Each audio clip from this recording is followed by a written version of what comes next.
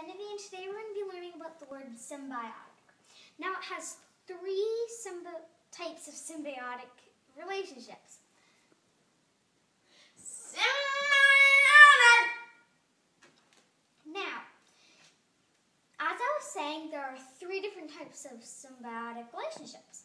One of them is mutualism. Now, mutualism is where all different species depend on each other. Like in this picture, the bee depends on the, the tree. The bee also depends on the flower. Now, the bee depends on both of them to get the pollen from them so they can eat in the winter. And the flower and the tree depend on the bee so they can grow. Bee gets the pollen is he's got, if you look up really close, it has this really, really tiny little squirts here.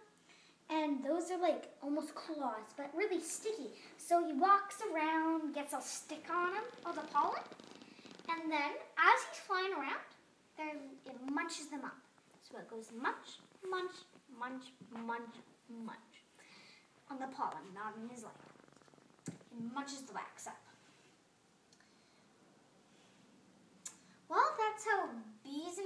And have a great relationship. Stay tuned for Jenny's fun facts about symbiotic relationships.